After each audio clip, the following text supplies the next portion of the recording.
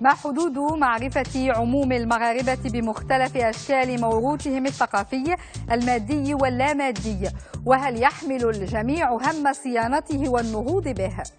لماذا يتعثر رهان التوظيف التنموي للموروث توظيفا ينعش اقتصاد عدد من مناطق المغرب يشغل أبنائها ويدر أعلى المداخيل أي تقييم لسياسات متعاقبة ولمجموع المبادرات الجمعوية في مجال تثمين الموروث وصيانة عدد من ملامحه من اندثار بدا حتميا. ثم ما مداخل الاستثمار المربح في الموروث الثقافي؟ وكيف السبيل لاعتباره مشروع أمة وفية لماضيها؟ تنطلق منه نحو المستقبل الأفضل.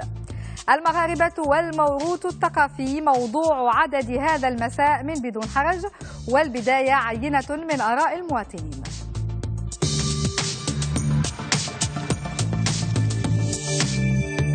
ما تنظنش بأن هاد الشباب واش يعرفوا بعدا أصلا واش هاد الموروث كاين ولا ما كاينش باش عاد يحافظوا عليه. ما تنظنش لأن ربما لأن حتى في في, في, في الأوساط ديالنا في التعليمية ولا حتى في الوسط الأسري ما تنعلموش هاد الشباب بان كاين حقا واحد واحد الموروث تاريخ تاريخي حضاري اللي خصنا نحافظوا عليه. على حساب الجيل هذا كنشوف بان الموروث ديالنا غادي في تدهور وفي اندثار مع مرور الوقت.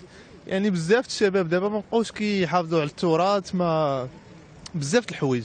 اللباس المغربي كنلقاو اننا مازال كنحافظوا عليه آه، البراد.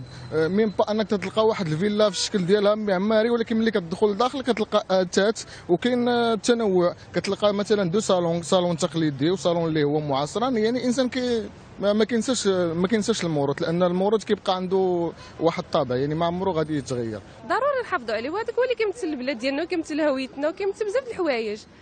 زعما الا إلا تخلينا على داك الشيء ولينا كنعتمدوا على كل ما هو أوروبي يعني ما بقيناش حنا مغاربة ما بقيناش مسلمين ما فهمتيني؟ إلا تكلمنا على الموروث بصفة عامة كنتكلموا على عدة أسباب هي اللي خلات هذا الموروث ما يبقاش ويندثر من أهم سبب العولمة.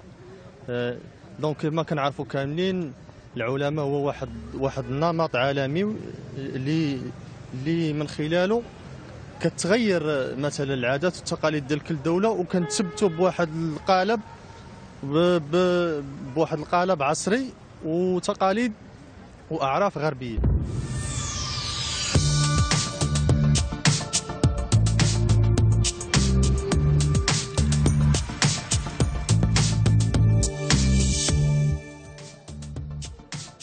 مساء سعيد مشاهدينا الكرام لرفع الحرج عن موضوع هذا العدد.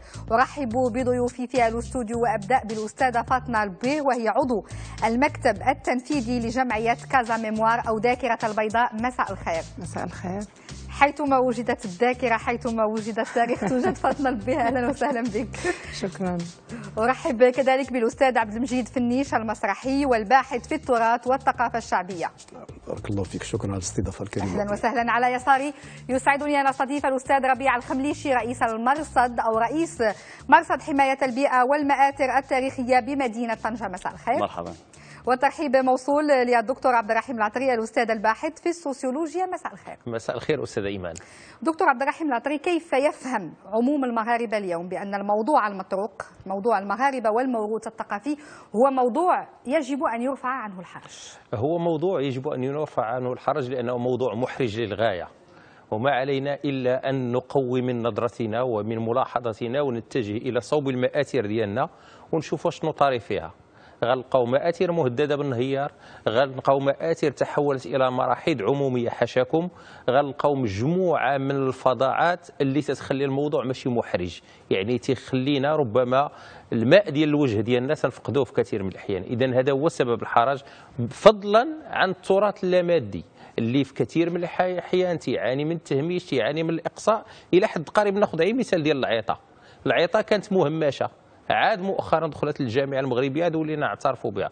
اذا هذا هو موطن الحرج هو أنه موضوع محرج لنا ويثير فينا كثير من الأسئلة. تعليقا على ما جاء في الشهادات ما الذي استوقفك ربما في تداول هذه العينة من المغاربة لموضوع عدد اليوم؟ الذي استوقفني أستاذ إيمان هو ثقافة الإجماع.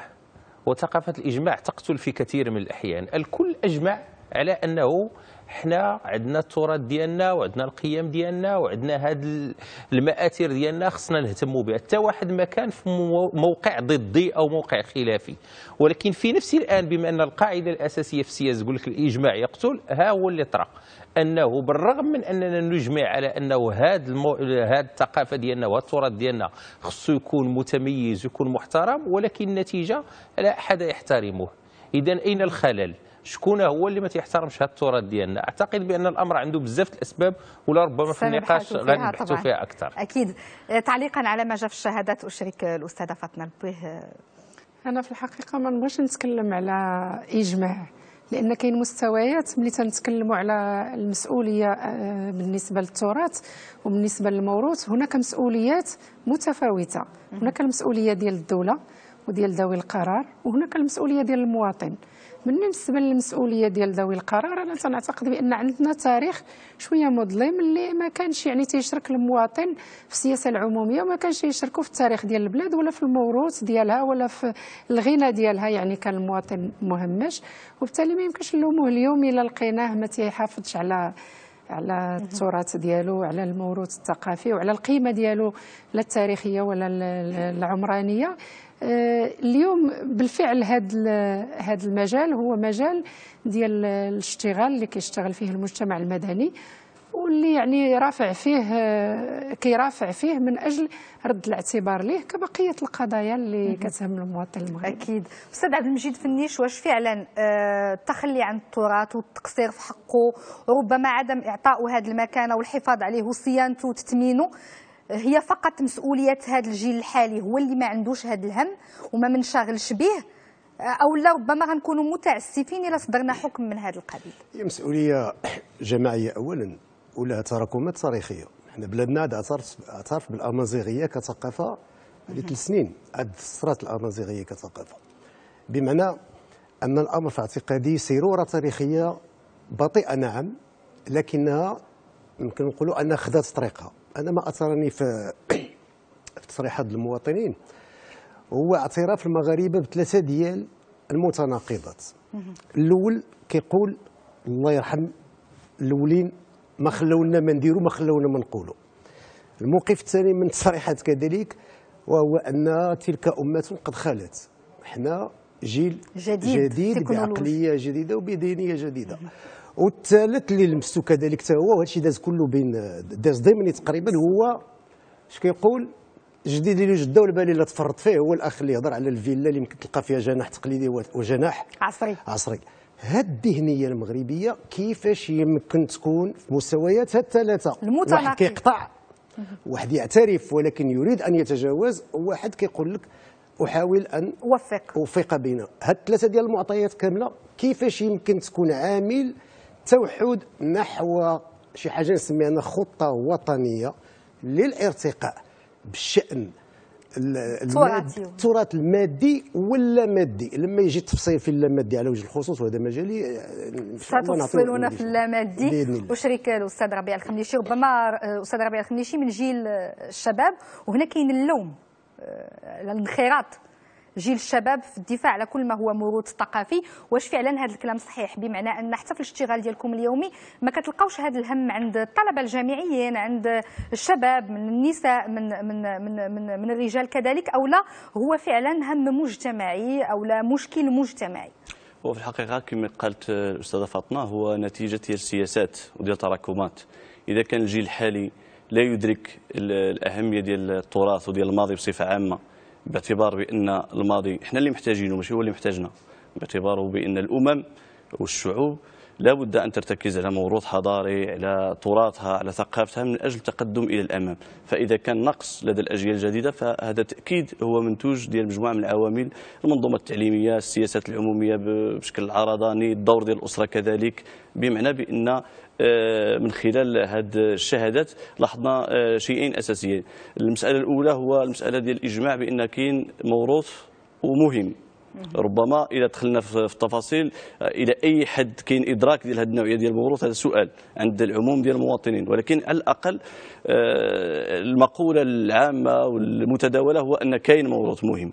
من ناحية أخرى كاين واحد التشاؤم بخصوص المستقبل والحال ديال هذا الموروث وفي نفس الوقت التعاطي مع الأمر بواحد بواحد المسافة وبواحد السلبية. وربما هذا هو المدخل وهذا هو الخلل اللي خصنا نعالجوه. لأن آه، من أجل آه، خصنا إعادة تكييف النظرة ديالنا لهذا الموروث بطريقة استشرافية بطريقه كتسمح لنا نوظفوه من أجل المستقبل ومن أجل الأجيال آه، المقبلة خاصة بأن هذا الموروث غني جدا ومتفرد وعنده امكانيات هائلة سواء في الشق المادي أو الشق اللامادي. من هذه الفكرة غادي نواصل مع دكتور عبد الرحيم العطري بأي معنى أو كيف نقرب للناس طبعا اللي تيشاهدونا اليوم بأن الموروث الثقافي المغربي في شقيه المادي واللامادي هو من بين ربما الاغنى عالميا كما يصنف أو من بين الأكثر ثراء وتنوعا واختلافا. فعلا أستاذ ايمان قبل ما نجاوب على هذا السؤال لابد اولا نضبطوا المفهوم جيدا باش نقربوا أكثر للعموم المشاهدين التراث المادي على مدى يحيل؟ ثلاثة العناصر أساسية المآثير التاريخية المعالم المعالم التاريخية أيضا والعمرانية ثم الروائع الفنية. يعني واحد النافورات كبيرة جدا ولا واحد اللوحات وهذا كله يحيل على تراث مادي. التراث اللامادي اشنا هو؟ وفقا للتعريف ديال اليونسكو. هو واحد المجموعة ديال المواقف ديال التعبيرات ديال التمثلات ديال الأماكن الثقافية أيضا ديال الأشياء اللي تتبلور النظرة ديال الناس للكون.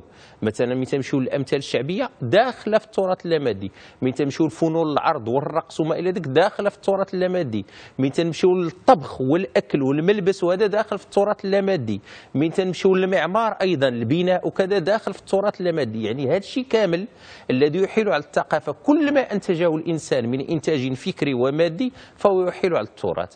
اذا هنا تلقاو المغاربة بأن راه هما أغنى من جوع اللباس يعني من جغرافية اللباس المغربي من شمالي إلى جنوبي واحد الغنى واحد التعدد كبير جدا. من جيو للطبخ واحد الثراء كبير جدا. من غنجيو للمعمار واحد الثراء كبير جدا. من غنجيو للامثال الشعبية. من غنجيو للنوازل المنازل عي دابا مثلا حاليا حنايا دابا حاليا خرج سعد السعود. أشنو تيقولوا المغاربة؟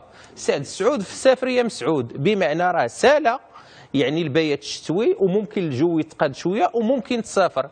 إلا صبات في الصمايم دير رأس مالك بهايم بمعنى أنها تعطيك حتى السلوك الاقتصادي اللي ممكن ديرو يعني إلا صبات في الوقت ديال الصمايم من الأحسن شري البهايم وهذا راه العام غيكون متميز. اذا ها القيمه الرمزية ديال الشيء؟ ولكن لا نوظفوه ما يميز المغرب أيضا هو واحد المجتمع اللي غارق في القدام حنا دابا حاليا راه 33 قرن حسب محمد شفيق ديال الحضور الأمازيغي في المغرب. هاد 33 قرن. راه ماشي سهلة. فيها تراث وفيها أفكار وفيها قيم وفيها ناس دازوا مجموعة من الأشياء وخلاو البصمة ديالهم في التاريخ. ولكن للأسف الشديد هو أنه لا نتمن هذه الأشياء لا نقيمها وما تنعرفوش كيفاش نجيبوا منها الفلوس. لأن دول أخرى ربما عندها شي حاجة بسيطة. من الناس يمشيو لتركيا تيقول لهم يلا غتمشي لواحد الساحة قدام المسجد الأزرق. تي شنو تيلقاو تيلقاو واحد النافوره هكا تعبان مهرس. تيقول لك لا هذا كانوا تعبان كبير ولكن عشرات الناس يدوزوا حنا لا ديتهم على القصر البديع.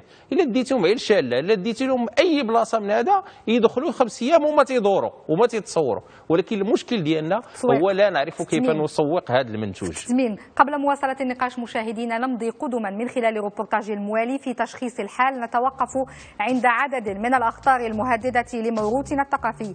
وفي مقدمتها صور جاهزة وتمثلات مغلوطة حول قيمته ووظائفه.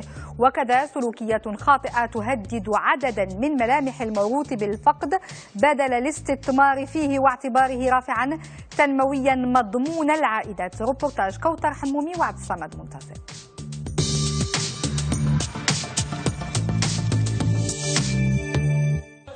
بواحد من أغنى الأشكال على الصعيد العالمي يصنف الموروث الثقافي المغربي بشقيه المادي واللامادي. هي ثروة استراتيجية غير قابلة للاسترجاع في حال الضياع. هكذا ينعته كل مسكون بهاجس صيانة الموروث بل وبالاستثمار المربح في كل مكوناته. عبر العالم المغرب كيشكل آه، قطب رئيسي في من الناحية التراثية. بمختلف آه، الأشكال وكانت في في الطبخ كانت في الزي كانت في في, في المباني كانت في عدد ديال ديال الأمور اللي اللي, تراكمات تراكمات آه، هائله ف نحتفظوا بهذا التراث ننميوه ندمجوه في صيروره اقتصادية وديال خلق الشغل وديال وديال آه، المساهمة في تنمية البلاد. هذا هذا واضح ويعني وهدف آه، استراتيجي للبلاد. من الإجحاف المزدوج يعاني الموروث الثقافي المغربي. فلا هو يحظى بكبير اهتمام على مستوى الترميم والمحافظة ولا هو يقع في صلب مخططات اقتصادية وتنموية أسوة بتجارب عدد من البلدان التي تجاوزت النظرة الرومانسية للموروث وفلكلرة مكوناته إلى جعله رافعة للتنمية تدر أعلى المداخيل. المورث لا يجب دائما اعتباره شيئا ماضويا بل قد يساهم حتى في التنميه في الحاضر من خلال يعني توجد عدة مناطق في العالم حاليا تعيش على السياحة الثقافية. طبيعه الحال هذه السياحة يجب كذلك أن نتعامل بذكاء بألا تقوم بتدمير أو مسخ أو مسح هذه الهوية الثقافية المحلية.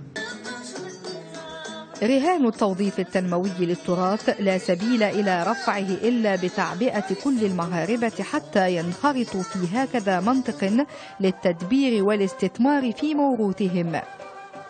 بضعف في الوعي حينا أو وعي موجود تقابله اختلالات في السلوك أحيانا. توصف العلاقة بين جيل الشباب وبين الموروث الثقافي. علاقة غير سوية تتهدد هذا الموروث بالاندثار الحتمي. اللي كيهدد التراث هو جعله مسألة شبه ثانوية ثقافيا في الذهن ديال المواطن. يعني آه شيء قديم. ولكن إلا كان قديم راه ماشي الجودة ديالو اللي تراجعات. إلا كان قديم راه هو الأساس. هو في العمق هو الفلسفة ديال حياتنا. هما مختلف التطورات اللي عشنا في ثقافتنا في حياتنا في طريقنا إلى آخره. فإذا اذا كان قديم هو اللي خصو يمكن يكون عزيز في قلبنا ونبدلو الصورة اللي عندنا من على هاد على هاد على هاد التراث. نبدلوها. تغيير في النظرة للموروث يستتبعه تحرك عاجل لصيانة كل مكوناته.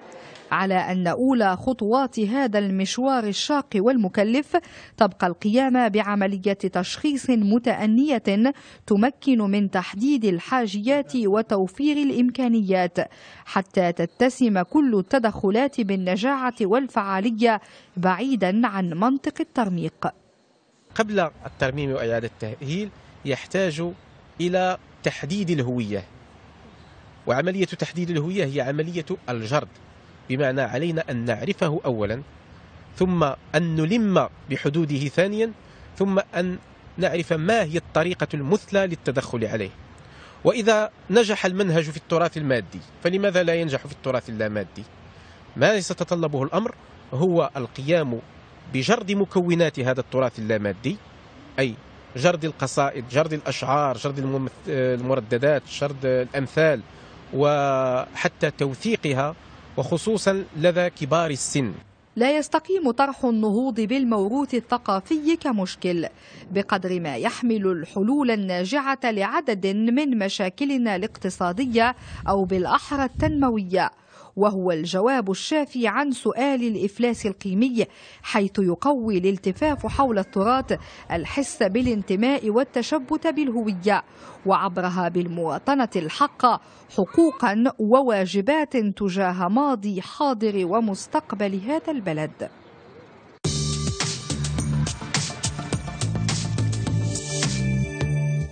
سأواصل مع الأستاذة فاطمة البويه طبعا الحديث مع جمعيات كازا ميموار ولكن من خلالها نبغيو نديرو تشخيص لحال التراث المادي في المغرب يعني على مستوى المعمار على مستوى المآثر هل هو بخير إجمالا؟ آه في الحقيقة ال- الجرد ديال التراث اللي هو مسؤولية ديال ديال ذوي القرار وديال الوزارات المعنية بالأمر يعني في حالته لا تنبئ بالخير لأن مادام ما كايناش سياسة ديال الترافع عليه كرافع للتنميه الاقتصادية وما كاينش ما كاينش سياسة دي سياسة وطنية للتصالح معه يعني طبقا للتوصيات ديال هيئة الإنصاف والمصالحة ديال إنه المواطن خصو يتصالح مع ماضيه ومع تاريخه ومع الصفحات السوداء. فيه يعني مازال ما كنحسوش. يمكن المجتمع المدني آه، يعني عنده قصب السبق في هذا المجال وهنا فين يمكن نشوفوا العمل ديال الجمعية ديال الدار البيضاء الذاكرة. تعاون يعني هي هي اللي كترافع أمام الوزارة المعنية بالأمر وكتعاون معها على أساس أنه مثلا يتم تسجيل بعض المباني التراثية باش يتم الحجز ديال آه، ديال ديال آه، يعني تعريضها للتلف أو لا تعريضها ل... ولكن ملي كنتكلموا أنا بغيت نوقف عند جوج النقط المسألة ديال العلاقة ديال الشباب مع الموروث الثقافي ديالو الموروث المادي ولا مادي والعلاقة ديال المواطن. يعني هي علاقته به جاية من العلاقة ديال المسؤولية اللي عنده فيه. وهذه المسؤولية هي مسؤولية اللي اللي ما يمكنليش يديرها بمفرده.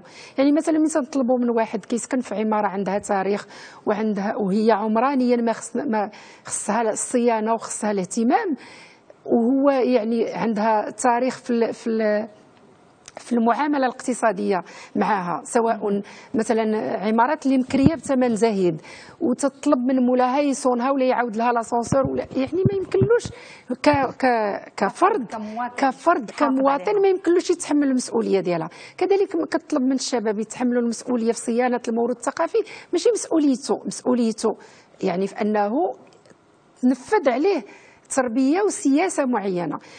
كاين الآن يعني مآثر عمرانيه مثلا في الحي المحمدي. يعني المواطن اليوم كيسترجع القيمة ديال هذيك المساكن اللي هو فيها ولكن هو ساكن فيها.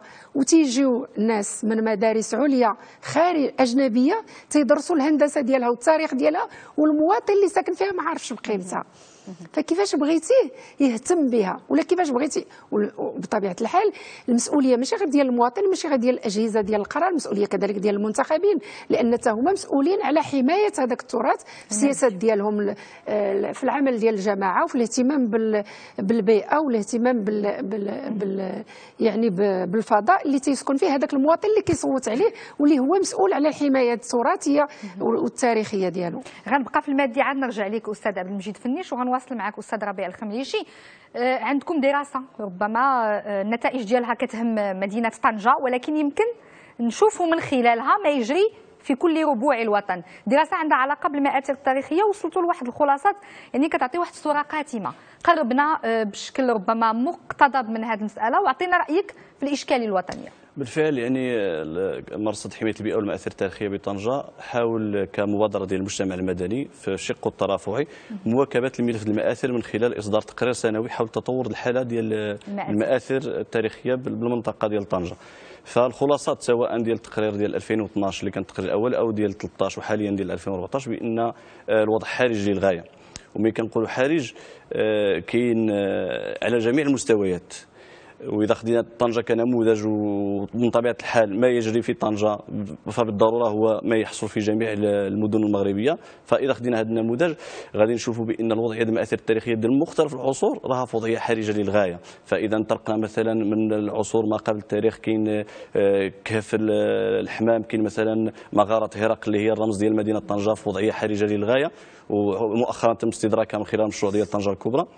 ولكن كاين مواقع أخرى مثلا كاين المقابر الرومانيه اللي ما راهمش في حاله جيدة. اذا إذا مشينا للفترة ديال الفترة التاريخية دوزنا مثلا مدينة كوطا اللي هي من من المدن القليلة في شمال إفريقيا اللي كان فيها الاثار ديال المعامل معامل صناعية اللي كانت في الفترة ديال المورية والفترة ديال الفينيقية وكذلك الرومانية تصدر السمك المملح إلى مختلف آه، الم- الموانئ ديال المتوسط وهي حاليا في وضعية محاصرة ما يمكنش حتى المفتشين ديال المآثر التاريخية ما كيمكن لهمش يدخلوها لانها مسيجه في ملك خاص.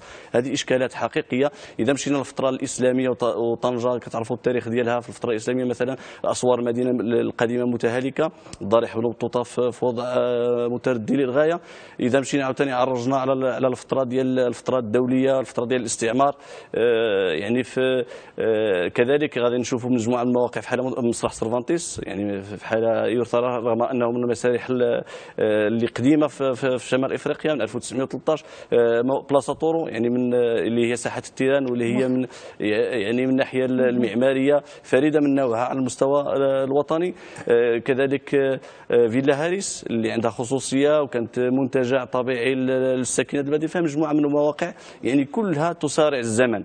ربما الوتيره ديال ديال التدهور ديالها كانت مقبولة في مرحلة معينة ولكن دابا مع الإكراه ديال التمدد العمراني مع آه، المشاريع المهيكلة مع الضغط الاقتصادي مع ال- الشهية ديال أصحاب العقار كيجعل فعلا بأننا وصلنا تقريبا لنقطة اللا عودة آه، فيما يخص إنقاذ ما يمكن إنقاذه من هذه المآثر واللي هي طبعا موروث ليس لطنجة فقط أو للمغرب فقط وإنما للانسانيه جمعاء ونتحدث اليوم عن موروث ثقافي غير قابل للاسترجاع. في حال الضياع.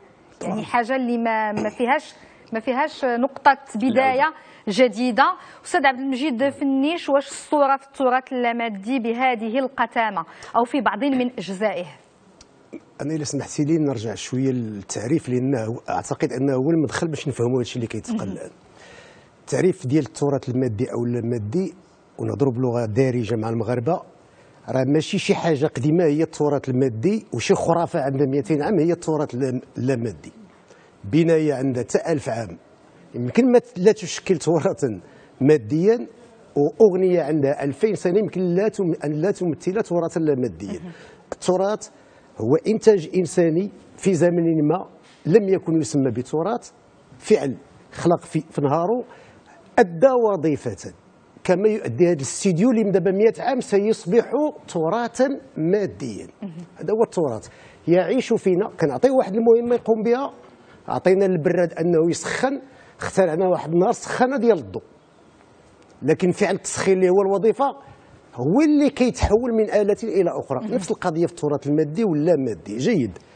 مادام هذا التراث المادي واللا مادي هو فعل ديالنا حنا كنديروه. كيعيش معنا كيكبر معنا لدرجة نسولك أنت كائن تراثي أنا. اسمك يعود إلى 300 سنة أو 400 سنة العائلة. صحيح ولا لا. تاريخ ميلادك يعود إلى 40 سنة أو أقل لا أو. أكثر. يعني أنا قلت أقل أو بديت بأقل.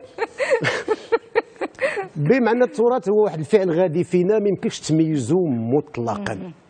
حنا الخطأ اللي وقعنا فيه في تعليمنا وفي توجيهنا في, البيوت وكذا فهمنا الناس ان التراث شي حاجة متحفيه كتشاف فقط لا وظيفة لها. بقات في الذهنيه المغربية. كي غتحيد ال- أن التراث راه حنا هاد الطبلة اللي قدامنا اليوم غتولي مادة تراثية. جيد.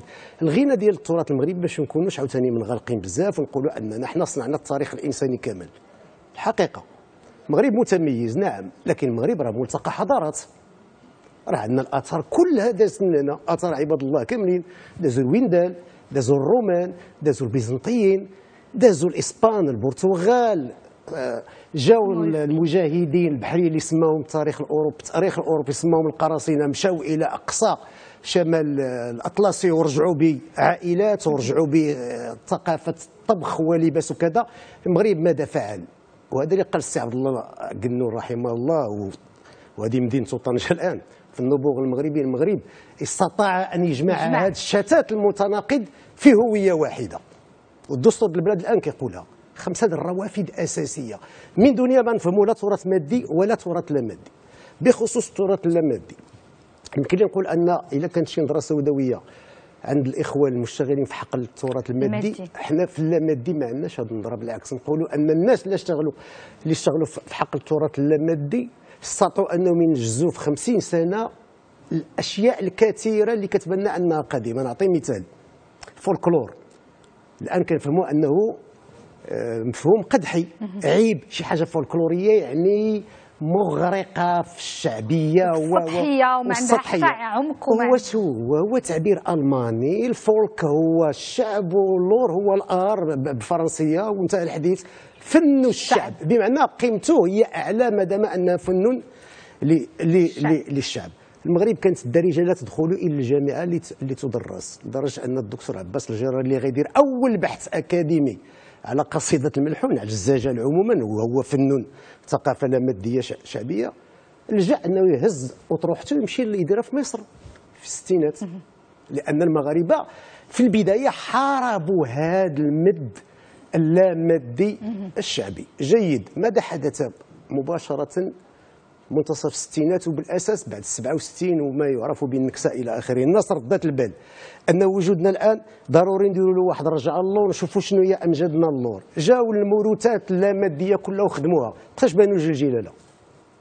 شنو داروا جيل جلالة من أجر لا مادي في قصيدة الملحون اجرك أقول الناس الغيوان المشاهب تقدى حركة الزجاج حركة المسرح الشعبي حركة المسرح التجريبي وسير سير جماعة الأشياء كلها في آخر المطاف. شنو كتعطينا؟ كتعطينا الان اكاديميه للمملكة من مهامها وأهم لجنها لجنة التراث اللي الآن يمكن نقول أنها غطت واش لا ومسحت خوف على تراثنا اللامادي لأن هذه صورة جميلة. أنا أشتغل فيه يومياً. يوميا. أقول إن المشتغلين في حق التراث اللامادي خذي مثال الأغاني اللي كيتغنوا بها الشباب اللي كيقول لك خايفين من الاستلاب أشكايان ودابا مع فناير. فناير وكذا. كلهم رجعوا إلى التراث. اللامادي داروا فيه اللمسة. هذا هو الفهم الحقيقي للتراث. هذا هو الفهم الحقيقي. إنه مجرى نهر يسيل يسيل عندك إضافة قبل ما ناخذ. المداخلة ديال سي عبد الرحيم لهذا قلت قبل قليل أن مع لا لوم على الشباب. بالعكس الشباب كيحاول ما أمكن بالإمكانيات ديالو الضعيفة أنه يسترجع التراث وأنه يعمر الأماكن مثلا المجازر البلدية. شكون اللي معمرها يوميا تينشط فيها؟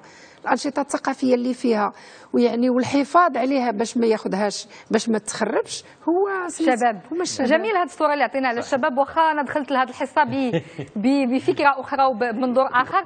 دكتور عبد الرحيم نعطيك كيفاش كيف ما قالوا الأساتذة نقطعوا مع هذيك النظرة للتراث والموروث الثقافي بأنه شي حاجة من الماضي وشي حاجة عبء علينا نحافظوا عليها ونخسروا عليها الفلوس وشي حاجة إلا شفناها إيجابيا فتنشوفوها بحنين وبرومانسيه. عوض الانطلاق منها لصناعة الحاضر والمستقبل. أنا أستاذ إيمان يعني في التعريف العلمي اللي عطيته باش ضبط المفهوم هو أنه مثلا نقولوا التراث هو كل ما أنتجه الإنسان من إنتاج مادي وفكري كانت واضحة الفكرة يعني لا داعي للمرور إلى أقصى في هذا الجانب.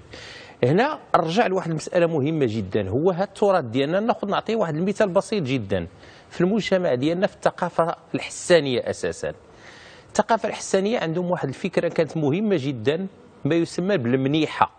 المنيحة من المنحة. شنو هي هذه المنيحة؟ تتأسس على إعادة توزيع الثروة. واحد السيد تيكون عنده لإبل بزاف الغنم بزاف أشنو تيدير؟ ديك الابل ديالو تيوزع منها في إطار ما يسمى المنيحة على الناس اللي دايرين به. وبذلك يضمن التضامن ديالهم ويضمن التآلف ديالهم ويضمن أنه ما تكونش واحد التراتبات اجتماعية عالية جدا. الوزيعة كذلك. وقتاش دارت؟ راه ماشي من أجل اللحم. شي واحد من تتهرس ليه البقرة ديالو بطبيعة الحال تيكون مضطر خصو يذبحها الحل هو أنه تتوزع على الجميع من أجل تقاسم الخسارة. هذا راه تراث لا مادي.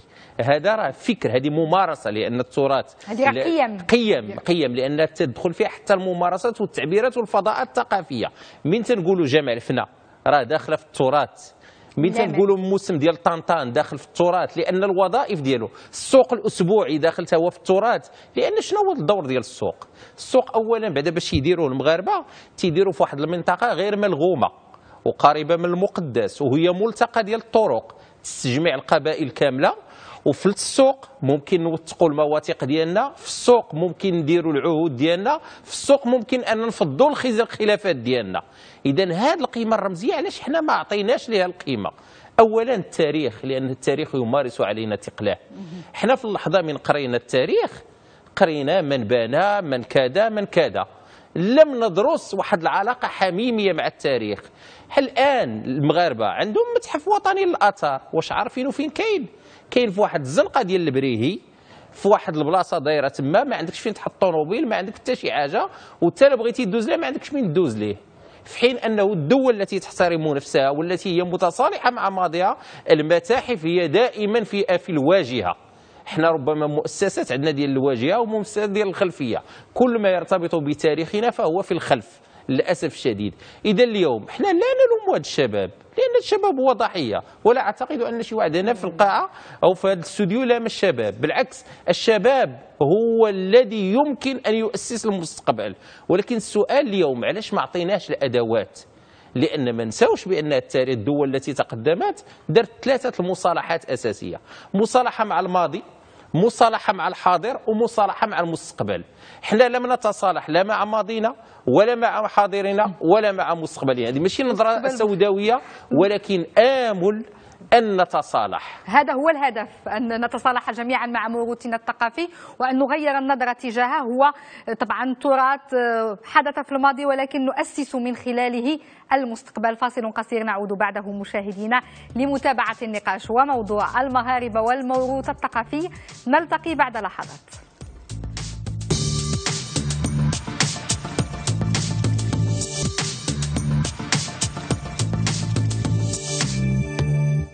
أهلا بكم مجددا. أستاذ ربيع الخمليشي كيفاش نفهموا هذا الفرق بين آه، يعني الصورة المشرقة للحفاظ على تراثنا اللامادي وبين الصورة السوداء والقاتمة ديال الاندثار والانهيار وفقد عدد من ملامح تراثنا المادي؟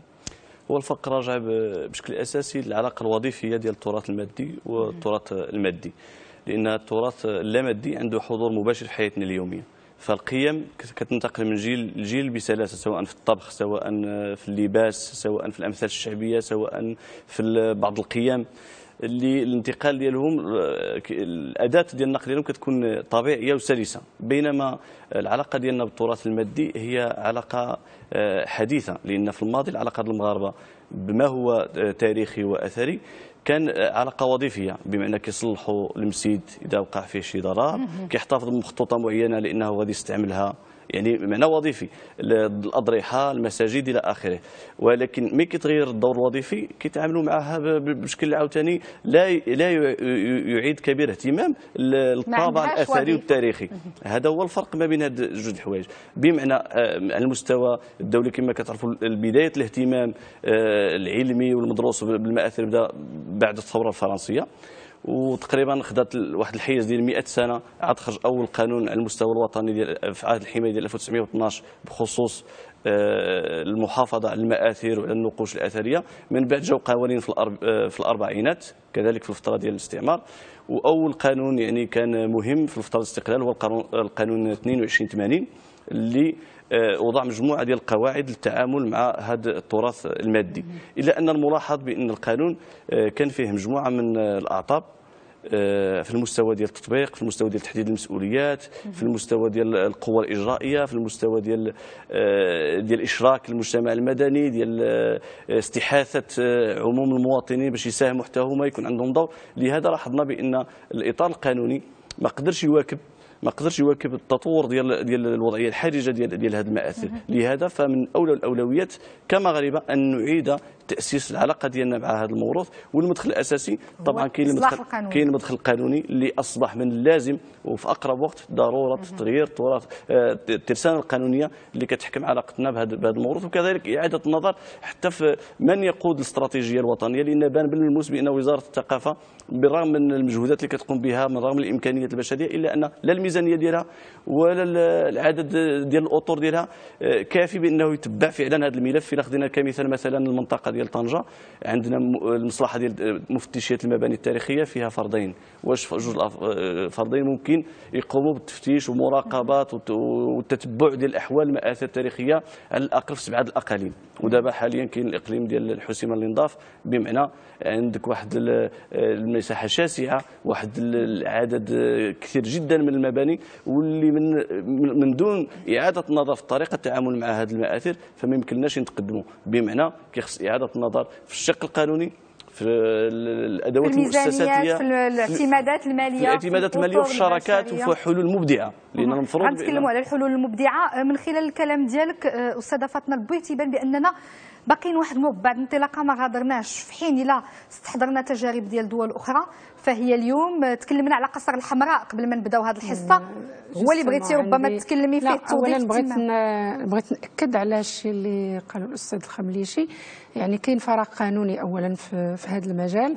وكذلك تكلم على الوزارة. مثلا بالنسبة لنا إحنا المندوبية في الدار البيضاء. وهنا تنحيي ذاك البنات ديال الإدارة لأن العمل اللي تيقوموا به هائل وجبار وتيتعاونوا مع الجمعية في الحفاظ على المباني التراثية والتاريخية. ويعني كاين واحد كاين واحد العمل ديال الرقابة دايرينه بشكل تضامني مع مع الجمعية باش أي مبنى آه، تعطى فيه آه، قرار ديال الهدم. واخا كاينة الدورية لأنه كاينة دورية ديال ديال وزارة الداخلية اللي تتحمي هذه المآثر العمرانية من الهدم. ولكن هذيك الدورية تيتم التحايل عليها. وبالتالي يعني تخيلي أنه موظفين ديال المندوبية وأعضاء ديال الجمعية كيقوموا اولا بالجرد ديال المباني التاريخية وكيعملوا على أنه يتم تسجيلها باش يتم آه، الحفاظ عليها. الحفاظ عليها وحجزها. وفي نفس الوقت خصهم يبقاو يعني حاضرين. تيجريو حاضيين وتيتبادلوا المعلومات وتيتبادلوا التضامن وتنحيوا هذا العمل اللي تيقوموا به المواطنين سواء على مستوى المسؤولية ديالهم في المؤسسات والمصالح الخارجية أو أو في على مستوى الجمعية. واحد المسألة تكلمنا عليها ديال القطع مع بعض السلوكات. هنا بغيت نرجع للقطع مع واحد السلوك اللي كنا اللي كان كذلك مأخرنا في مجال الحفاظ على المآثر العمرانية لا كمسؤولين ولا كمواطنين هو أن هذاك التراث ديال الاستعمار. مثلا ملي بدات الجمعية تتشتغل على بعض المباني التاريخية في الدار البيضاء أو في يعني تحاول تسجلها وتتكلم عليها. بدات الانتقادات على انها أننا تنحافظوا على مباني ديال المستعمر. هنا تتحضرنا التجربة ديال إسبانيا. اسبانيا اليوم. يعني ما تعتبرش هذاك عمران إسلامي. مثلا القصر الحمراء تخاصمت معاه. لأنه عمران آه، عمران إسلامي. بالعكس تبناته واليوم هو رافعه ديال التنمية عندها وتتشتغل عليه. ويعني تدخل أماماته تدخل موارد. منه موارد مالية. وهنا تنستحضروا الأمثلة متعددة. وقصر الحمراء دليل على أنه الناس ما تيوقفوش في, في, في الزيارة ليه. لأن كاين كاين يعني الاشتغال على المجال القانوني كاين الاشتغال على مجال التحسيس يعني المواطن الإسباني اليوم. عنده ثقافة ديال التعامل مع المتحف ومع التراث ومع المسائل تبناها ديالو التاريخ ديالو أسود أكثر من ديالنا ولكن هو تصالح مع ماضيه وتصالح مع العمران ديالو. في مجال آه، المسألة ديال يعني آه، أنه المسؤول على على العمراني واللي ما كاينش فرق بينه وبين الدولة هو تشجيعه. لأن بعض المرات كيجي شي واحد آه، شرا شي أرض ولا المواطن باغي يبيع داك داك المحل فين ساكن وهو عنده قيمة تاريخية هو عنده مصلحة والآخر عنده مصلحة. يمكن لنا نبدلوا ليه المصلحة سواء بالنسبة للمواطن نعفيه من الضريبة ونشجعوه على أنه يحافظ على ذاك الموروث أو هذاك اللي باغي العقار نعطيوه أرض أخرى ونعطيوه اعفاءات اللي تمكنوا من أنه ذاك يعني ذاك اللهف ديال ديال ديال ديال العقار يكون عنده حتى هو يكون جواب عليه. نحاولوا ما أمكن نستجبوا الحاجيات ديال الناس في نفس الوقت نصونوا التراث ديالنا. سي عبد المجيد فنيش ملي كان يعني كنديروا هذا يعني الحديث اللي كنتحدثوا طبعا على التراث المادي وتنتكلموا بنوع من من من السلبية وبنوع من التأسف تنجيو للتراث اللامادي باش نتفاجئوا شوية. أه، قبل طبعا في الفاصل قلت لنا بأن هناك حركية هناك دينامية هناك مهرجانات هناك مواسم. أه، الهدف ديالها هو الترويج لهذا لهذا لهذا التراث اللامادي أكثر قربنا من هذه الصورة. الترويج والارتقاء به والارتقاء. وتطويره.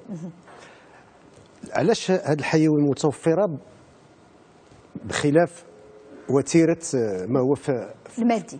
المادي محكوم بسلط وصايه وبقوانين وقوانين يبدو أنها عفى عليها عليها الزمن. واحد.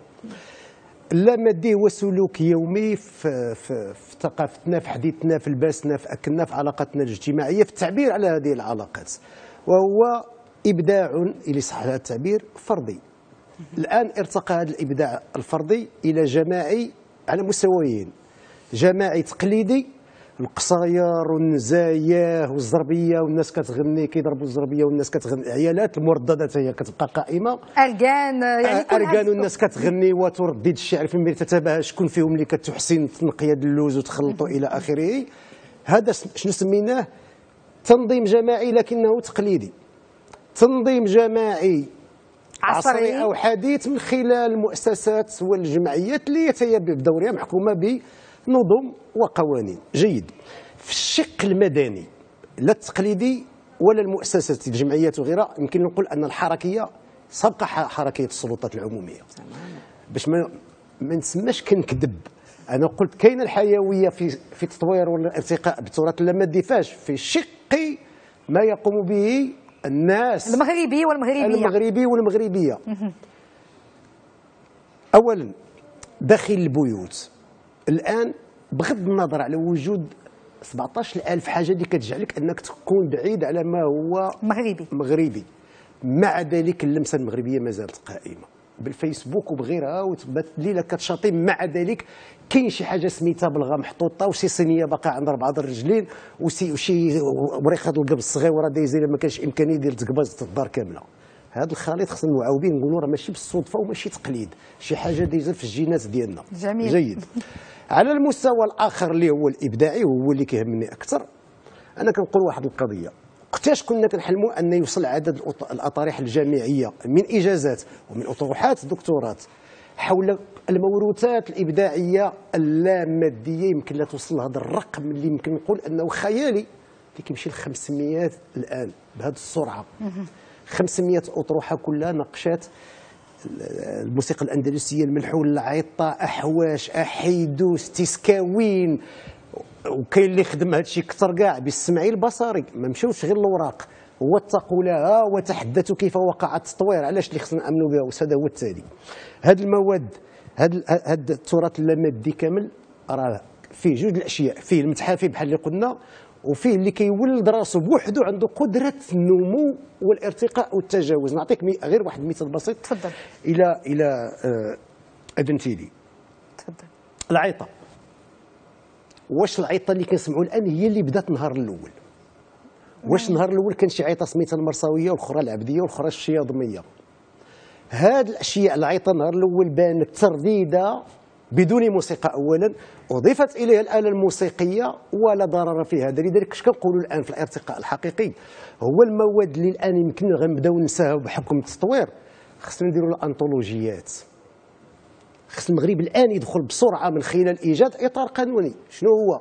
شي مجلس على الثقافه شي مجلس على التراث المادي ولا مادي؟ خلي لي هذا الشيء في التوصيات. يا وفين- سلام. وفين حنا من التوظيف التنموي لهذا لهذا التراث؟ آه، لا مادي أكيد أكيد. عطينا أمثلة على التوظيف تطور التنموي. جيد. التطور الآن اللي كتعرفوا ساحه الجامعة الفنيه حتى صنفت تراثا انسانيا كاين دابا فيها الماكلة أكثر ما فيها حاجة أخرى. بالليل. الماكلة بالليل. بالنهار الشكل ديالها ما وهذا هو التوازن آه، هذا هو التوازن. ما هيش هو هي خصها تكون معكوسة إلا شبعت الكاش حيت الراس فينا هي الحلقة. هما حتى كيتفرجوا عاد كيمشيو ياكلوا. ولكن في الحلقة في يعني بدا شوية الفقد. بدا التجاري أكثر بدا الاستهلاكي أكثر أكيد. لكن الخصوصية ما زالت قائمة. مازال- شنو اللي خص خص حزم في تدبير الساحة؟ وهنا خصها جمعيه بتسيره ولا شي حاجة من النوع. حزم في تدبير الساحة على أن هذا العامل ديال الغزو التجاري يتحد منه شيئا ما هذا واحد. آه، قلت لي أين تتجلى- التنموي التوظيف فين. الفلوس؟ جيد. فين الاستثمار المربح؟ صحيح. ما قولك في المواسم الآن ديال الصوفية؟ أقطاب الصوفية في المغرب كاملة التي الآن خرجت على بعدها. الصوفي المحض بين قوسين الصوفي لأن فيه ما فيه هو بنفسه. هذاك ال- الزاوية والمريدين اللي ما بقاتش الزاوية والمريد بقدر ما ولات فرجات فرجات احتفالية. كتجلب عدد كبير من السياح اللي على اثرها ولينا مضطرين بنيو فنادق ونعبدوا طرق. جميل. خريطة المغرب الآن واضحه في هذا الأمر.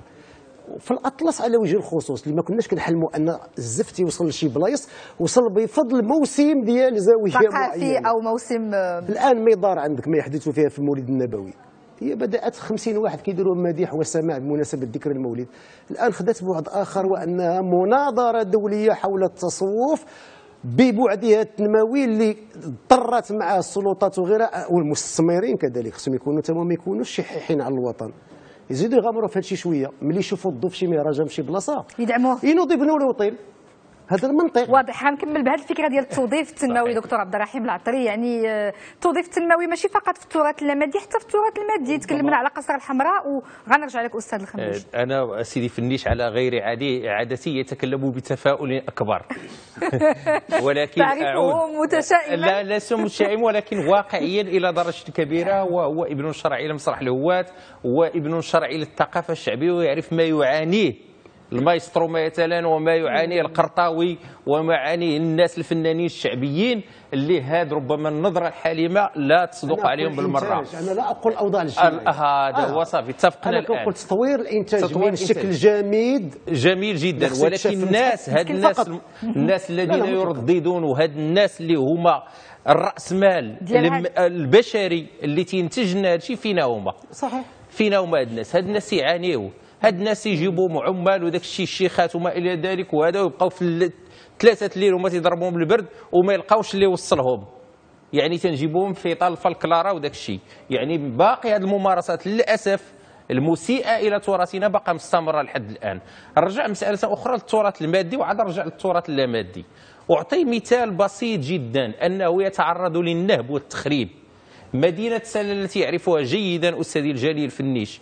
هو أنها محاطة بأسوار والأسوار إلى حد قريب إلى حدود الثمانينات كانت فيها مدافع من البرونز. فين مشات المدافع ديال البرونز؟ كايناش؟ فين مشات؟ بقاو آه سي فنيش هو يقول لنا فين مشات؟ مشات. إلى فيلات ومشات إلى أماكن معينة. تهزات ما بقاتش. بقاو جوج مدافع حاليا ربما راهما من الحديد. مشاو ديال البرونز وجاو جوج ديال الحديد. مدينة وليلي. جات طائرة. في 1999 وهزات تمثال ديال ديونيزوس من البرونز مشى ناهيك على القطاع وناهيك على مجموعة من الأشياء اللي تطرى في هذه البلاد. المساله أخرى هي دابا الآن تتم واحد الساقية مهمة في تاريخ المغرب وهي الساقية اللي كانت تجيب الماء إلى مدينة الرباط من عين عتيق. فين هي؟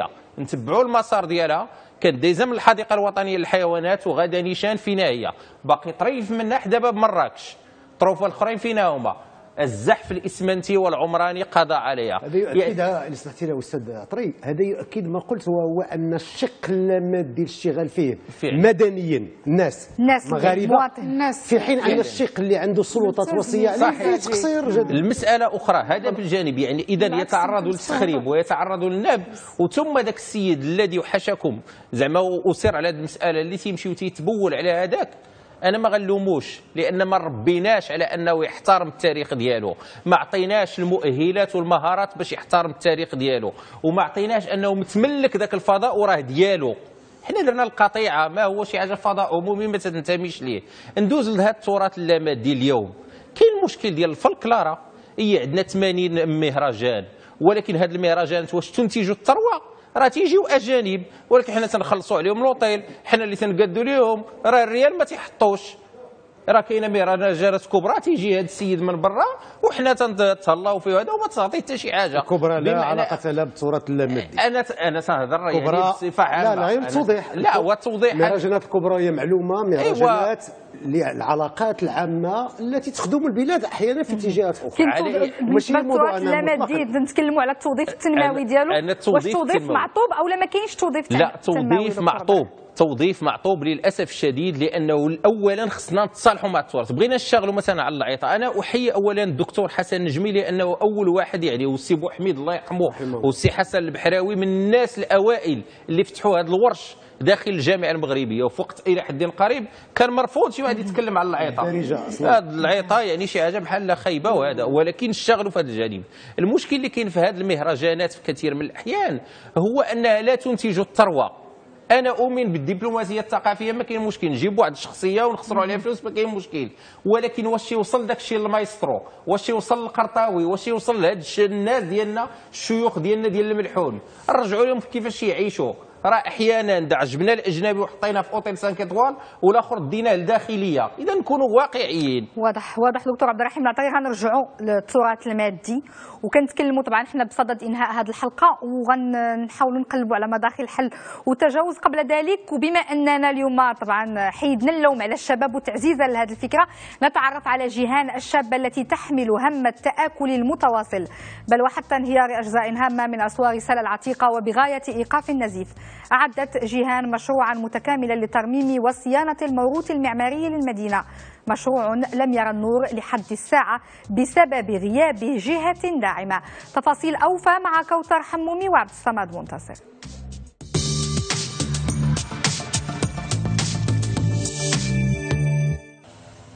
عرض الحائط تضرب جيهان حكما جاهزا يقول بسوء العلاقة بين الشباب المغربي وموروثه الثقافي. ببالغ الأسى تعاين الشابة وعلى مدى العامين الماضيين الانهيار التدريجي لهذا السور العتيق. عين بصيرة ويد قصيرة لا تملك سوى أن تتفقد الطلل تلو الطلل. سور موحدي من تأسس في القرن 12 آه، تهدم جزء منه أكثر من عامين. وتا واحد خدا بادرة لا سواء من المجتمعات المجتمع المدني ولا من الدولة إنه يقوم بالترميم ديالو. ولحد الساعة ما كاين حتى بوادر على إن يقوم يقوم بالحفاظ عليه ولا تحسيس بإن هناك سور اللي عنده أكثر من 8 القرون آه، ساهم في حماية ديال المدينة عظيمة وكبيرة آه، بحسله رافقنا جيهان في جولة تفقدية داخل حاضرة سلا العتيقة هنا تحول جزء من الموروث الثقافي المادي إلى خطر يتهدد حياة قاطني هذه الأحياء. مساحات هامة من السور انهارت تماما وأخرى في طريقها إلى الانهيار. تستبدل بجدران من طوب وإسمنت. عبثا تحاول الشابة إقناع السكان بأن في الأمر اعتداء صارخ على تاريخ المدينة. كانت عندي محادثة مع الناس باش نعرف الأهمية ديال هذا السور لدى المواطنين ونعرفوا واش عندهم آه، يعني حاسين بأن هاد القيمه ديال التاريخ ديال هاد ديال السور حتى واحد للأسف آه، كيقول لك لا نحيدوه. نحيدوه باش لأنه كيشكل خطر على على الناس اللي كيدوزوا منه وهذه علاش؟ لانهم ما عارفينش القيمة ديالو لا التاريخية ولا الأثرية ولا ولا حتى شي حاجة. أمام هكذا مشاهد لم تكن جيهان لتقف مكتوفة الأيدي. أعدت مشروعا لإعادة تأهيل وترميم أسوار المدينة. طرقت به وما تزال الكثير من الأبواب دون مجيب. ما بقاش اللي غيدعمني باش نزيد به القدام. أي باب كنطرقو كنلقاه كنلقاه موصد ما كنلقاش دعم كفاية باش باش نزيد به القدام الوغ ملي كنمشي مثلا مشيت لمصر ومشيت لقيت دعم الوزاره ديال التراث المصرية.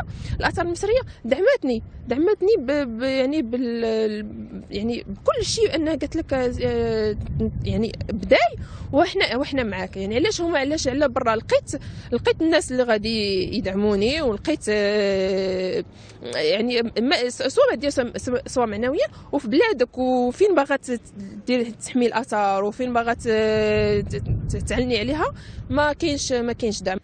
من غياب الدعم تشتكي جيهان وتشتكي كذلك من استسهال ترميم النسيج المعماري الذي يحتاج لتعامل حرفي من قبل خبراء وتقنيين ينهضون على الوجه الأكمل بمسؤولية التعامل مع التاريخ.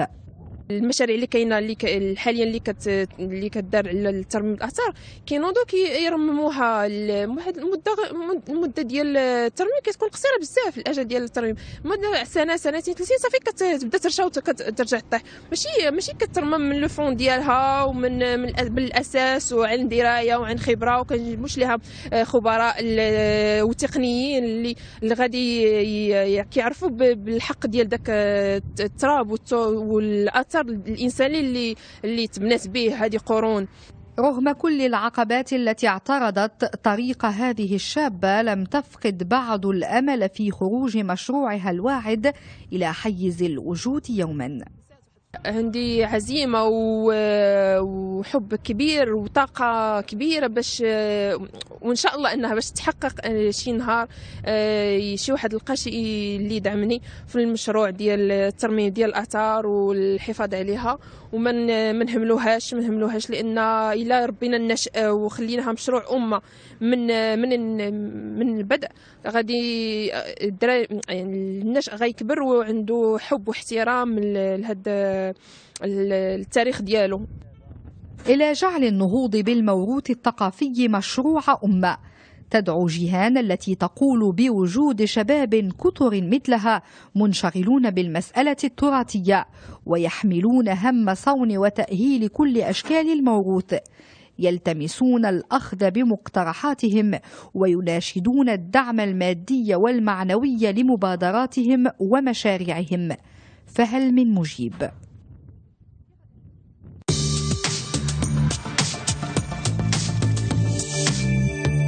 واصل مع الأستاذ ربيع الخمليشي طبعا كنحيي جيهان اللي شفنا البورتري ديالها. ويعني هذا النضال ديالها المستميت ولكن مازال المشروع طبعا ديالها معلق. تيتسنى ربما الدعم وأشياء أخرى. ماشي فقط الدعم. ما المسألة ماشي مسألة الدعم. المسألة كما قلنا هو الإطار العام. الإطار العام ما كيسمحش بالتدخل المباشر ديال ديال المجتمع المدني في مشاريع يعني مباشرة. هذا من ناحية.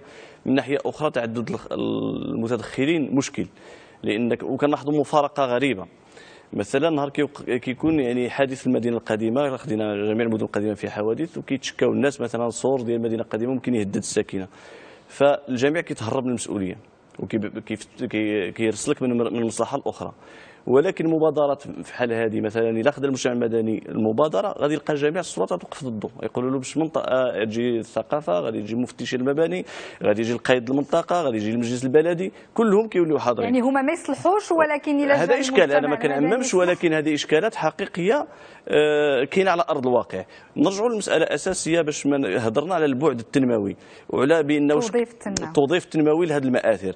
ما نقولوش بأن عاوتاني يعني باش ما نكونوش سوداويين 100% نقولوا بأن كاين محاولات ولكن هذه المحاولات واش فعلا كتأدي الغرض الأساسي منها. ملي كيوقف واحد الشاب قدام مثلا مسجد بحال الكتبية في مراكش واش كياخذ انطباع؟ ولا غير مجرد واحد المسجد كبير البناء كيتصور معاه؟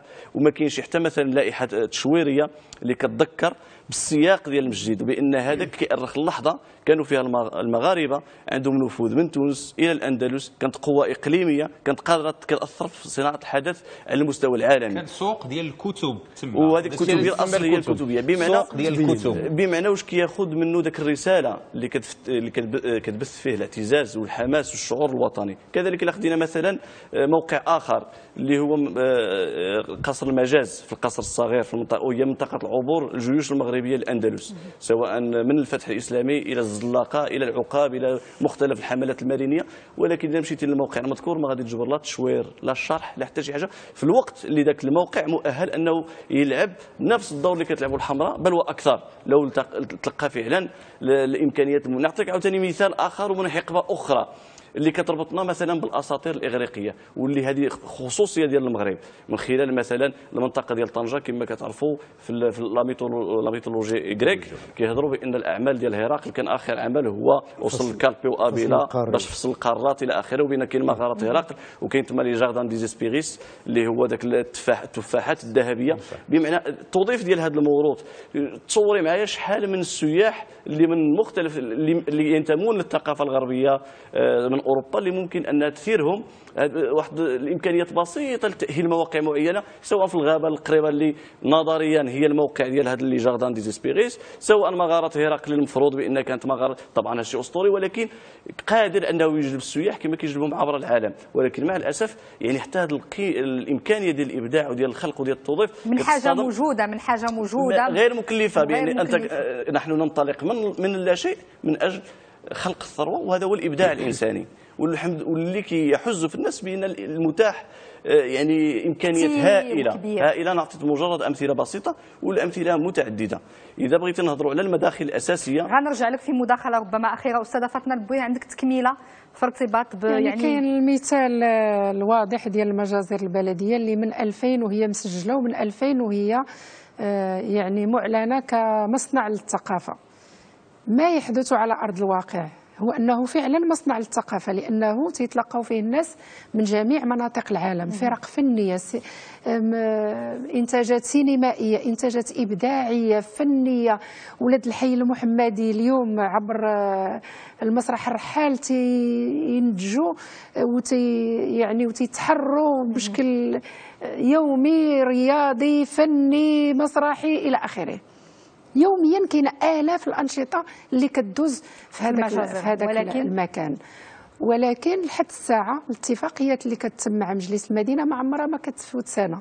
اذا مسألة الترافع المادي ممكنة لأن جميع المؤسسات العالمية يعني مستعدة أنها تدعم وخاصة نحن عندنا أمستردام. راه هي شريك آه، يعني مجلس مدينة أمستردام هو شريك معنا في هذاك المكان.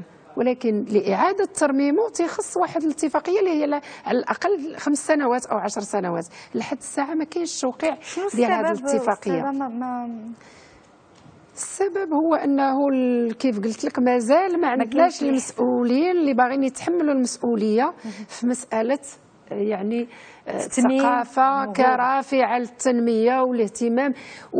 يعني ملي تنقولوا مناهضه الإرهاب أنا بالنسبة لي هذاك المكان يوميا يناهض الإرهاب. يناهض الإرهاب.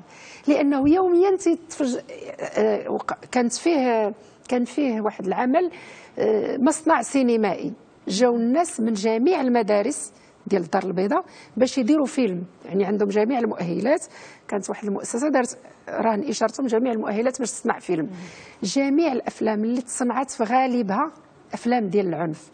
اذا هذا ماشي مجال ديال تفجير العنف وديال يعني يعني التفتح ديال الشباب ديال الغد. فعلاش من غدا؟ ماشي غير على مستوى الدار البيضاء هذاك. مصنع ثقافي على المستوى الوطني الوطني. والدولي.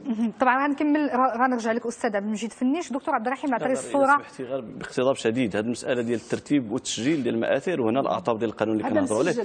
لا يسمح. لا يضمن الحمايه بل آه، بالعكس لا شي مرات كيكون وبال بمعنى بأن كيكون آه، مبنى معين مسجل. بس صاحبه يتخلى منه كيساهم في الت- في التدهور العاجل ديالو باش يطيح باش يت- باش يتهرب من هذه المسؤولية ديال الترتيب. لأن لأن هذا هو اللي كنقولوا الاعاقه القانون. وها انت رتبتيه ما كيعطيش إمكانية للجامعة المحلية ولا الدولة باش تدخل باش تدخل من أجل. فرض التأهيل ديالو السينما تيخربوه الكلام- بمعنى ان أنصاف الحلول في أحيان كثيرة تؤدي إلى نتائج عكسيه تؤدي هو إلى ال- تعمق المآسي. الكلام على طنجة وعلى الدار البيضاء. ينطبق ربما على الوطن. تكلمنا على القصبات فعلا. تكلمنا على كل هذا فضاءاتنا هو اللي بغيت الآي. نمشي لها أستاذة إيمان. هو. نمشي للمغرب المنسي. نمشي للمغرب المنسي واساسا المنطقة ديال درعا والمنطقة ديال زيز اللي معروفة أساسا بالقصور وبالقصبات أشنو اللي طرا في هذه المناطق؟ هو أن الناس خلاو القصبة وخلاو القصر وفين طلعوا؟ طلعوا للطريق. ولاتين جداد. عندنا أطول مدينة دابا في المغرب نقدروا نقولوا بهذا المعنى. لأن مدينة كل شيء الناس طلعوا. للطريق. مثلا الناس ديال تيمتيك الوسطانيه كلهم طلعوا للحدب كل شيء طلع للطريق. ولكن شكون اللي خلاهم يطلعوا؟ وفي اللحظة من تيتموت القصر وتتموت مع القصبة أشنو اللي طرا؟ راه ما تقيم. لأن القصر شنو اللي كان فيه؟ راه خصنا واحد الترتيب هو بعدا اولا بناية دفاعية ولكن بناية اجتماعية أيضا. فيها في الدخله اولا ما يسمى بالدكانة ما يسمى بارحبي مجموعة من المسارات اللي فيها القيم ديال المغاربة وديال التواصل ديال المغاربة. المشكل دابا اليوم هو أنه كيفاش نخرجوا من هذه الأزمة؟ كيفاش نعيدوا الاعتبار لهذا الشيء؟ هنا واحد المثل مغربي عميق تيتقال اللي ما تعرف الطير الحر تيشويه. المغاربة خصنا نعلموهم بأن هذا الشيء اللي عندهم راه حر. راه من الناس تنعرفوا دابا حنا على الطاوس الحر ولكن لا. راه كنز عميق وقوي جدا. هذاك السور الموحدي ذاك السور المرابطي ديك المنارة كل هذه الأشياء ذاك. الطعام ديك السوق. سوسيكا كيفاش فعلا. كل ديك الأشياء فعلا. التازوطه كذلك ومجموعة من القيم. هذه الأشياء راه دي بيجو راه مجوهرات ولكن ما تنعرفوش القيمة ديالها. ولهذا حنا تنخليوها تتحرق على طول. تنحرقوا التاريخ ديالنا تنحرقوا الحاضر ديالنا والمستقبل ديالنا هو بين قوسين. ولكن اليوم إعادة الاعتبار هي اولا في المصالحة. أول حاجة لا ما كانتش المصالحة راه ما يمكنش نزيدوا لقدام. عطاني الكلمة. غن غن غنمشي عند انا حنا الآن باقي لنا خمسة ديال الدقائق. غنعطي لسي عبد المجيد فنيش وسننهي هذه الحلقة. ربما غنهيوها على إيقاع المصالحة. أستاذ عبد المجيد فنيش آه، درنا تشخيص. كيف؟ درنا تشخيص درنا اليوم. اعتبرنا بأن التراث اللامادي غادي مزيان التراث المادي باقي متاخر قلنا هناك سرعتان. سرعتان مختلفتان. مجتمع مغربي بحيويته فيه شبان هازين الحمل فيه شيوخ وفيه جمعيات تقليدية وحديثة وفيه سرعة ثانية. متخلية على التراث المادي كما هي. متخلية على التراث المادي كما هي متخلية. على بزاف ديال المواضيع. منطق. التخلي هو شعار المرحلة طيب ولكن هذا لا يمنع أن نقولوا أن المجتمع المغربي واخد العملية شنو الأولوية دابا الاشتغال شنو الأولوية دابا هذا الاشتغال باش نكونوا كنختموا هذه الحصة بخلاصة. واضحه في التراث في الموروث الثقافي فيما بشكل عام. يخصني في التراث المادي أساسا. أولوية الاشتغال الآن هي كيف نربي الجيل اللي باقي ما هو هنا ولا هنا في هذا الخضم الزحف الكبير ديال المعلومات المعلوماتيه ولا سميتها هي؟ تكنولوجيا تكنولوجيا المعلومات. المعلومات اللي ما بقاتش فيها الخرافة ما بقاتش فيها الجدام ما بقاتش فيها السلام عليكم ولات فيها لغة فيسبوكية وغيرها. كيفاش يمكننا نصنعوا بدائل تكنولوجية بقيمنا. القيم. الأصيلة ديالنا وبقيمنا. هذا رهان خطير جدا. لكن كنقول لو يدخل رأس المال الخاص إلى جانب سياسة دولة في قوانين لينة. من أجل تشجيع الاستثمار في هذا المجال. ديالاش؟ فينا مجال ديال صناعة تراث لا مادي جديد بعقلية المغربي. دير لنا سيدي الرسل المتحركة ديال اللي كتعاود الخرافات ولكن ديال جحا وديال حديدان وديال ام عزيزة وغيرها وغيرها. ماشي بالضرورة طارزان وزورو سوبرمان اللي كينقذ 14 العمارة و15 العمارة. مثلا بمعنى الأمر هو اولا الإرادة السياسية خصها توفر. ثانيا. جيب لنا ترسانه قانونيه ماشي ترسانة المال. الاراده السياسيه اللي غتحرك الترسانة القانونية. الترسانة القانونية اللي غتعطي القطاع الخاص ضمانات وتسهيلات أنه يزيد. مع الإعلامية. كاين مشكل في الإعلام. كيفاش بغيتي التراث المادي يبقى مصان؟ وأنت كدوز هذه الأشكال التراثية فنيا غير على مستوى الغناء. كدوزها في سهرة ديال الأسبوع كيتخاصموا 15 لون غنائي على 50 دقيقة. كيفاش هذا الإعلام؟ ك... اي أي مهمة يؤديها الإعلام؟ بمعنى أن الدولة خصها تسهل المامورية والقطاع الخاص خصو يزيد من أجل مثلا على المستوى الإعلامي وما هضرناش عليه في لا في التراث المادي ولا في اللامادي ومهمته خطيرة جدا خطيرة جدا. توظيف التراث المادي في الأفلام والمسلسلات المغربية شنو هو؟ ماشي carte postale. carte postale. داك داك الصورة النمطية كتحط لنا كما هي وأحيانا حتى ال carte postale غير متوفرة. الأمر أعتقد أنه خطير جدا. يجب المغاربة أنهم يستثمروا هذا الحيوي اللي عند المجتمع المدني وعند شبانه الان نواصل معك أستاذ ربيع الخمليشي. غنعطيك تختمي لنا الحلقة سيدة فاطمة البويه وتفضل شنو مداخلتك الأخيرة؟ يعني أنا الوقت فعلا ادركنا في اعتقادي بأن المدخل الأساسي آه، هو أننا آه، نحاولوا نقتدي ببعض التجارب الناجحة. إحنا في لحظة معينة المغرب دار اختيارات آه، على المستوى الدستوري ومن طبعا ل- وما يليها من مستويات. فاللي أساسي بأن مثلا في مسألة البيئة مشينا تقدمنا من خلال الميثاق الوطني للتنمية المستدامة ومن بعد القانون الإطار ديال البيئة إلى آخره. فكاين دينامية وكاين وضع جديد. اللحظة المآثر الم- الآثار والمآثر والتراث خصو نفس الوقفة. أو خصو إرادة كبرى يعني توجيهات كبرى خصو لحظة وطنية على غرار جعلوا مشروع أمة كما مشروع أمة لأن بالفعل مثلا ملي كنهضروا على على البيئة كنهضروا على الطاقات المتجددة كنهضروا على مجموعة الأشياء. كذلك التراث كيخصو مقاربة شمولية وعرضانية وكيخص ال- الإبداع سواء آه، يا إما خلق هيئة خاصة بحال اللي كاين في مصر المجلس الأعلى للآثار. ربما آه، خصنا لحظة أن يكون عندنا مجلس خاص بالمآثر آه، والتراث المادي ولا مادي من طبيعة الحال. كذلك يعني كيخص توضيح للمتدخلين إعطاء دور أكبر للجماعات المحلية إعطاء وتوضيح للاختصاصات إعطاء أكبر دور المجتمع المدني في الخصوص. يعني ماشي فقط الترافع ولكن الحماية والتأهيل ديال هذا الموروث كيخص إعادة النظر في الطريقة ديال تعامل وسائل الإعلام في الطريقة ديال كذلك المدارس. المدارس والناشئة القيم اللي كان وت- دراسية. وتحسيسها. تحسيسها والزرع القيمة ديال ديال الوطنية وديال الاعتزاز بالانتماء من خلال الاستثمار ديال ديال هذا الموروث وديال التراث التراث الوطني. آه، كاين يعني اقتراحات عديدة. ربما غادي تخصنا ربما حصة أخرى أو حصص أخرى من أجل الحديث على على البدائل. دكتور عبد الرحيم باقتضاب قبل ما نختم. آه، غنحاول أستاذ إيمان نقتسم معك ومع الأوفياء ديال بدون حرج. واحد الكلمة جميلة قريتها هذا الأسبوع. تيقول لك النمو من أجل النمو لا يحدث إلا مع الخلايا السرطانية.